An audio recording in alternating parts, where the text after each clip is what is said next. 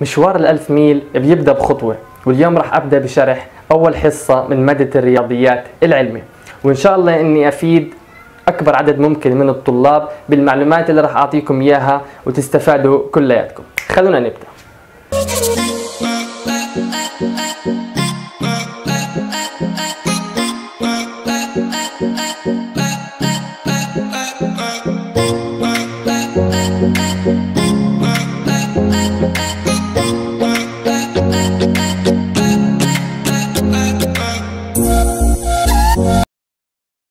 السلام عليكم ورحمة الله. أهلا وسهلا فيكم كلياتكم. بداية حابب أعرف عن نفسي. أنا فهد التعمري وبدرس مادة الرياضيات للتوجيه. وإن شاء الله إني أقدر أفيد أكبر عدد ممكن من الطلاب. هسا خلينا نتعرف شوي على مادة الرياضيات المستوى الثالث قبل ما نبلش فيها. مادة الرياضيات المستوى الثالث بتنقسم لثلاث وحد. الوحدة الأولى اللي هي النهايات والوحدة الثانية اللي هي التفاضل والوحدة الثالثة تطبيقات التفاضل. هسا أنا عملت لهم دوسيات حاليا أنتم شايفينهم قدامكم على الشاشة. اللي حاب ياخذهم بيقدر يتواصل معي على الفيسبوك. راح أحط الرابط تحت هذا الفيديو. وبوعدكم حبايبي إنكم تشوفوا المادة كثير سهلة وممتعة للي بتابع معي أول بأول. خلونا نبلش بأول درس من مادة الرياضيات اللي هو مفهوم النهاية. شو يعني نهاية وأنا كيف بدي أحل النهاية؟ طبعا في عندي أنا طرق لإيجاد النهايات. أول طريقة منها وهم خمس طرق. أول طريقة منها اللي هي الرسم البياني. طبعا أنا ما راح أقدر أفهم الرسم البياني إلا إذا قدرت أميز بين الحلقة وبين القفزة. لازم أعرف شو وجه الاختلاف بينهم. عندي هون رسمتين على اللوح قدامكم راح نوضح فيهم شو يعني حلقة وشو يعني قفزة. أول رسمة عندي هون لاحظوا في عندي هون اقتران في الرسمة هاي. هسا في عندي الواحد هاي بحكي إنه أنا في عندها حلقة. بحكي عن س تساوي واحد في عندي حلقة. طب كيف عرفت إنه هاي اسمها حلقة؟ في عندي تلاحظوا الاقتران قبلها بيكون متصل وبيكمل عندها وبضل طالع الاقتران لفوق يعني ما انقطع بيكون كلياته متصل مرة واحدة وفي عنده بالنص حلقة. هاي عند العدد اللي, اللي نازل عندها هاي بنحكي عن يعني عند السين تساوي واحد في عندي إيش؟ حلقة. طيب خلينا نشوف بالرسم الثاني. هاي إيش يعني القفزه لاحظوا كان أنا في عندي اقتران متصل انقطع عندي هون ونط لفوق. هاي القفزه اللي اللي نط فيها لفوق هذا الفراغ اللي تكون عندي هذا بحكي عنه قفزه بحكي إنه الاقتران كان متصل بعدين انقطع وكمل طريقه لهناك. هسه باجي بحكي عن س تساوي 2 في عندي قفزه هذا الفراغ كلياته اللي أنتم شايفينه نحكي عنه قفزه كان الاقتران متصل زي هيك وبعدين انقطع صار عندي منحنيين. منحنى قبل الاثنين ومنحنى بعد الاثنين. نعيدهم. حكينا الحلقة بيكون الاقتران قبلها متصل وبعدها بضل مكمل متصل. عند الحلقة عند القفزة هون بيكون الاقتران متصل وبينقطع يا بيطلع لفوق يا بينزل لتحت وبيكمل المنحنى بصير عندي منحنيين فيه. هاي اسمها حلقة هاي اسمها قفزة وهاي اسمها حلقة. طيب نشوف الرسمتين اللي عندنا هون. هسه أنتم بدي تجاوبوني. هاي الرسمة هذا الاقتران بنحكي عنه في عنده حلقة ولا في عنده قفزة؟ صحيح اللي هون اللي في عندنا قفزة مش حلقة. ليش؟ لأنه الاقتران كان متصل انقطع حكينا يا بينزل لتحت يا بيطلع لفوق هو هون نزل لتحت وكمل. فبنحكي عند س تساوي 4 في عندها إيش؟ قفزة. طيب عند الرسم اللي هون هاي عند الس تساوي 3 بنحكي عنها عندها حلقة ولا قفزة؟ أكيد حلقة لأنه الاقتران كان متصل وصل عند الحلقة وظل مكمل متصل ما انقطع ولا صار في شيء طيب هسه بما إننا صرنا نعرف نفرق بين الحلقة وبين القفزة خلينا نروح هسه نفهم شو يعني نهاية وكيف بدي أحل النهاية. الآن بدنا نفهم شو يعني النهاية من خلال الرسم اللي عندنا هون أمامنا.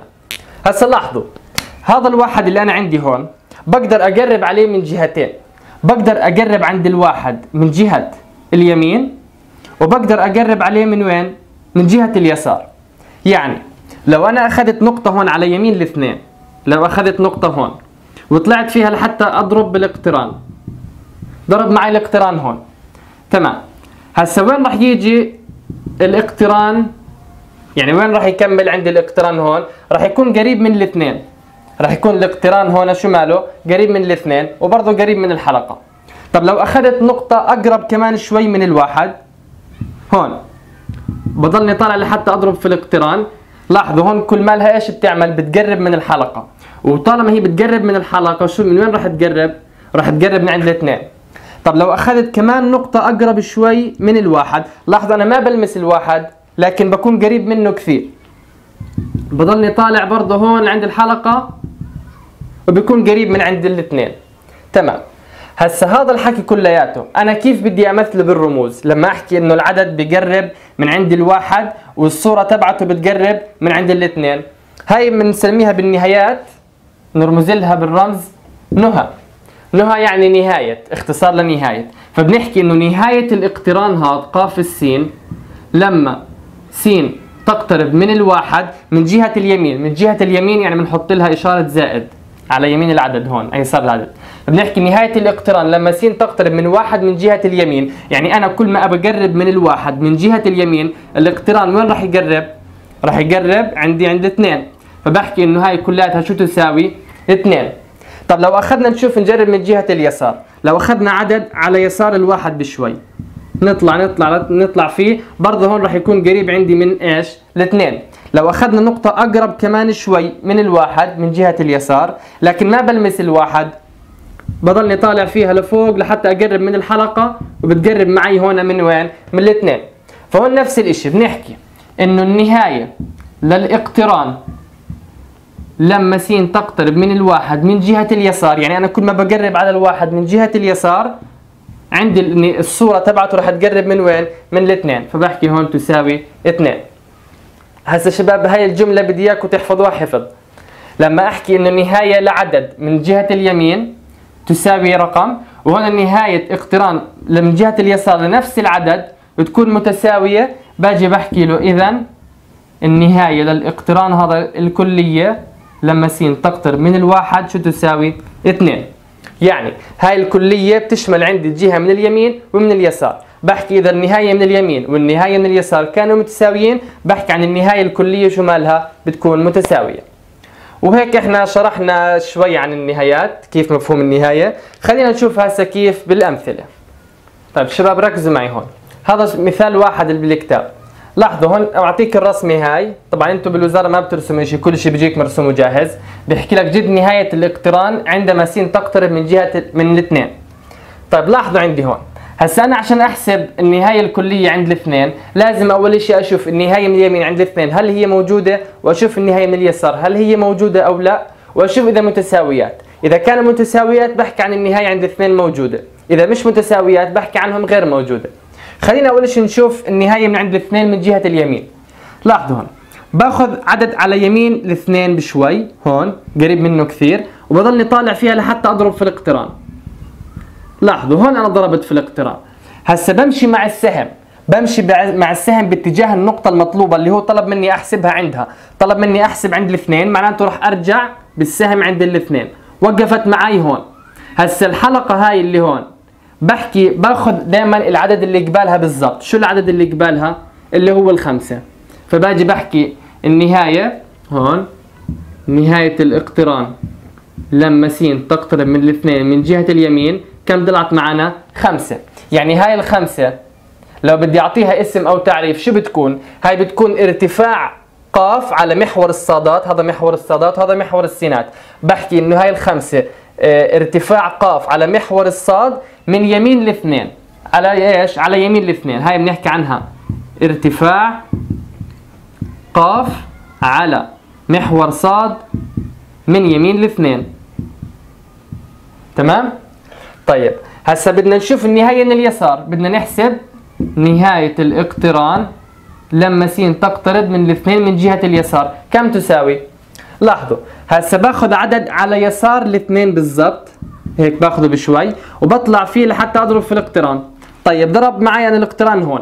هسا برجع فيه بالسهم عند النقطة اللي هو طلبها أحسب عندها. طلب أنا أحسب عند الاثنين معناته راح أرجع بالسهم لعند الاثنين هون. هسا بسأل حالي هاي النقطة. كم ارتفاعها؟ يعني شو العدد اللي مقابلها بالضبط؟ اللي هو الصفر فبحكي إنه نهاية الاقتران عند الاثنين من اليسار شو تساوي؟ صفر. هسا لاحظوا النهاية من اليمين طلعت خمسة والنهاية من اليسار طلعت صفر. ما طلعوا متساويات. بحكي له إذا النهاية الكلية شو مالها؟ غير موجودة. بحكي عن النهاية الكلية إنها إيش؟ غير موجودة. تمام. هسا شباب بدي تركزوا معي هون شوي. هاي إحنا عرفنا شرحنا يعني بداية الفيديو إنه هاي اسمها قفزة. ليش؟ لأنه انقطع الاقتران كان متصل فانقطع صار عندي منحنين منحنى قبل الاثنين ومنحنى بعد الاثنين هسه هاي القفزة. بالقفزة هاي هل النهاية اللي أنا طلعت معاي هل هي موجودة ولا غير موجودة؟ لاحظوا طلعت اليمين آه، عدد واليسار طلعت عدد مختلف معناته النهاية كاملة شو طلعت؟ غير موجودة. فبدي إياكم آه، تكتبوا هاي الملاحظة عندكم. اكتبوها شباب. خلينا نكتبها هون. نحكي إنه القفزات تمنع وجود النهاية. دايما شباب القفزة شو بتعمل؟ بتمنع وجود النهاية الكلية. تمنع وجود النهاية الكلية. طبعا لازم أكتب الكلية. ليش؟ لأنه طلعوا النهاية من اليمين ما منعتها. النهاية من اليمين موجودة. هيها خمسة. والنهاية من اليسار شو مالها برضه موجودة تساوي صفر. لكن النهاية الكلية شو مالها طلعت معنا غير موجودة. فدائما عند القفزات بنحكي النهاية الكلية بتكون غير موجودة.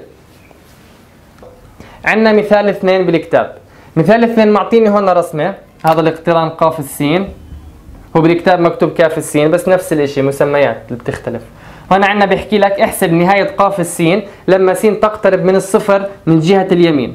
أول واحدة طلب مني أحسب نهاية الاقتران لما يقترب من الصفر من جهة اليمين. لاحظوا هون. هاي اليمين. حكينا باخذ عدد على يمين الصفر اللي أنا بدي أحسب النهاية عنده. فبطلع أو بنزل لحتى أضرب في آه، الاقتران اللي عندي موجود أو المنحنى.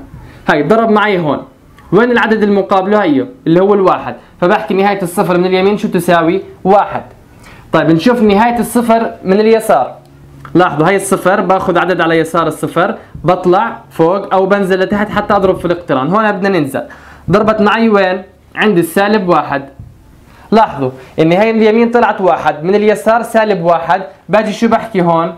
إنه النهاية للاقتران كامل لما س تقترب من الصفر الكلية شو بتساوي؟ غير موجودة. بحكي عن النهاية الكلية إنها إيش؟ غير موجودة. ليش؟ لأنه من اليمين ما ساوت الجهة من اليسار فباجي بحكي إنه النهاية كاملة غير موجودة. وطبعا لو طالب يعني ذكي زي السامعين بيقدر يعرف من البداية إنه إيش؟ إنها النهاية غير موجودة. ليش؟ لأنه في عندك قفزة عند الصفر. لاحظوا هون كان عندك اقتران مكمل قطع هون قفز لفوق وصار عندك منحنى ثاني فصار عندك منحنيين عند الصفر. فبديجي دائما تحكي عند القفزة بتكون النهاية الكلية شمالها غير موجودة. طب نشوف النهاية عند السالب اثنين. لاحظوا هاي السالب اثنين. السالب اثنين في عندها حلقة مش قفزة. عندها حلقة مش قفزة. لاحظوا السالب اثنين هون. لو أنا بدي أحسب لها النهاية من اليمين كم راح تطلع؟ باخذ عدد على يمينها بشوي.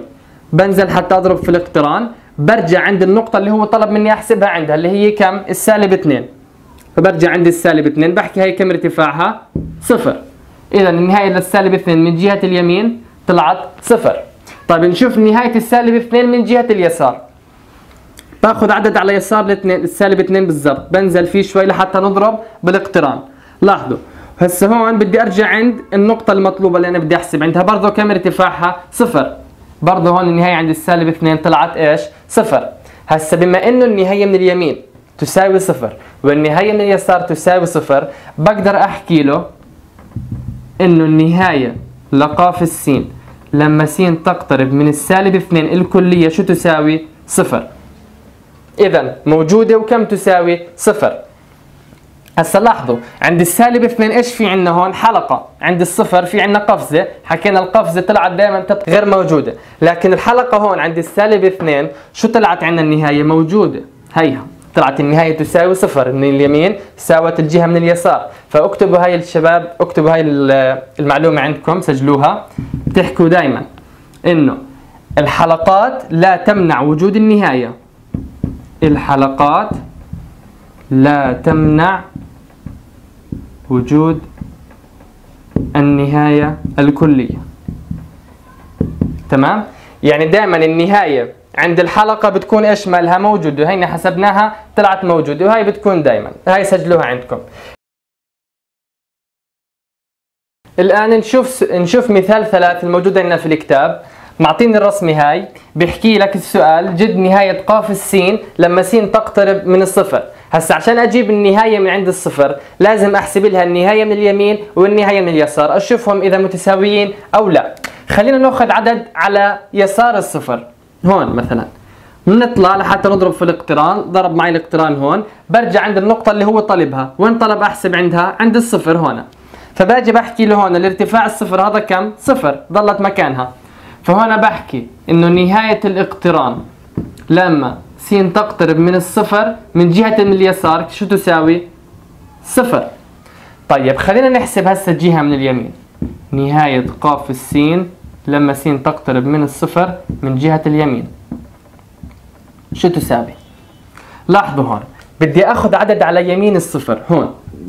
بدي أطلع أو أنزل لحتى أضرب في الاقتران. بس لاحظوا هون لو أنا ضليتني طالع أو ضليتني نازل ما في عندي ولا اقتران إني أضرب فيه. يعني الاقتران الرسمي كلها جاية بس عند الربع الثاني هون. هون عندي الواحد على يمين الصفر ما في عندي ولا رسمي. يعني هون ما في اقتران إني أضرب فيه. فشو باجي بحكي هون؟ على الصفر النهاية اللي عند الصفر من جهة اليمين شو بحكي عنها؟ غير موجودة. اذا بما إنه من اليسار طلعت صفر والنهاية من اليمين طلعت غير موجودة معناته النهاية الكلية لإلهم شو راح تكون؟ غير موجودة. بالضبط لإنهم إيش؟ غير متساويين. فالنهاية من اليسار طلعت صفر ومن اليمين صفر معناته النهاية الكلية شو راح تكون؟ غير موجودة. هسه هاي الصفر جاية عندي طرف يعني جاية على الطرف آخر إشي. يعني فيش بعد هون كمان رسمة لا. هي بس رسمة واحدة هون وهاي الصفر جاية على الطرف آخر واحدة. هاي الصفر إيش بنسميها؟ طرف. اللي ما في على يمينها أو يسارها تكملة للرسمة هاي بنسميها طرف. هسا لاحظوا هون الصفر هاي بما إنها طرف شو طلعت النهاية الكلية عندها؟ طلعت النهاية الكلية عندها غير موجودة. فهون راح نستنتج كمان قاعدة شباب اكتبوها عندكم إنه ال الأطراف. الأطراف تمنع وجود النهاية الكلية. هاي زي تعريف مين بالضبط؟ زي القفزة. هي والقفزة بنحكي عن القفزة والأطراف إنها إيش؟ تمنع وجود النهاية الكلية. هذول الثنتين إذا إجوا بالسؤال بنحكي إنهم بيمنعوا وجود النهاية الكلية. تمام لهون؟ هينا ماشيين على مهل. طبعا شباب الرياضيات بالنسبة للطالب الذكي هي عبارة عن ثلاث شغلات رئيسية. الأولى اللي هي الدقة والثانية اللي هي المعلومة والثالثة اللي هي السرعة. هسا المعلومة بتأخذها من المعلم وبتطبقها. الدقة والسرعة بيجوا من كثرة ممارسة حل الأسئلة. قد ما بتحل أسئلة كثير قد ما بتصير سريع ودقيق بالحل. خلينا نشوف اللي عندنا السؤال اللي هون اللي هو السؤال واحد بأسئلة الدرس. معطيك السؤال الرسمي هاي. بيحكي لك جد نهاية الاقتران لما س تقترب من الستة من اليمين والستة من اليسار. نشوف هي عند الستة. نأخذ عدد على يمين الستة بشوي ونطلع فيه لفوق. ضرب معي هون. برجع عند النقطة المطلوبة اللي هي الستة. هون على. على مستوى الستة. باخذ العدد اللي قبالها بالضبط على محور الصادات اللي هي كم طلعت؟ سبعة. فبنحكي النهاية من اليمين طلعت سبعة. والنهاية من اليسار للستة نأخذ عدد على يسار الستة بشوي. بنطلع فيه لحتى نضرب في الاقتران. بنرجع عند مستوى الستة. شو العدد المقابل لها بالضبط؟ اللي هو الاثنين.